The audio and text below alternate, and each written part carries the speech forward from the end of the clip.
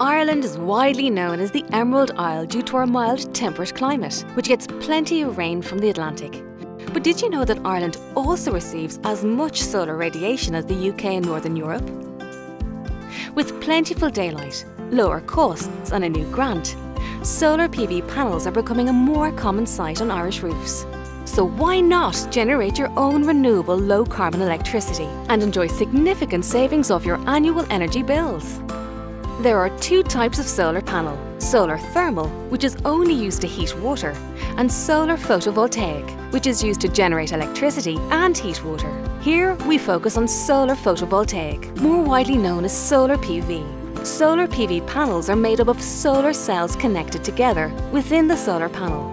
Solar cells are usually made from silicon wafer. When light energy strikes the solar cell, Electrons are knocked loose from the atoms, resulting in a flow of electric current when the cells are connected to a load. Solar PV panels are connected together in series, called an array. The electricity that is generated passes through an inverter, which converts it into a usable form. From the inverter, the electricity flows to your fuse board and is consumed by the appliances in your home. When your home demands more power than your solar PV is producing, the balance is imported from the grid. When your solar PV generates more power than your appliances are using, the excess can be diverted to your immersion or heat pump to heat your water. It can also be stored in a battery for use later.